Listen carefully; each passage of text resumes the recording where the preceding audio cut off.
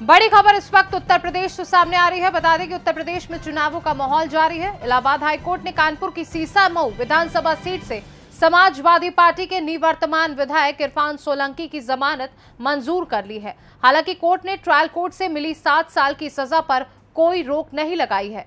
High court का यह फैसला कानपुर की सीसा मऊ विधानसभा सीट पर 20 नवंबर को होने वाले चुनावों को लेकर अहम है, क्योंकि इस सीट के भविष्य को लेकर सस्पेंस अब समाप्त हो गया है। ऐसे में हाईकोर्ट के फैसले के बाद कानपुर की सीसामऊ विधानसभा सीट पर हो रहे चुनाव को लेकर अब कोई संदेह नहीं रहा है। सीसामऊ सीट पर 20 नवंबर को मतदान होना है और इरफान सोलंकी की जमानत के बाद उनके चुनावी भविष्य का रास्ता साफ़ हो गया है।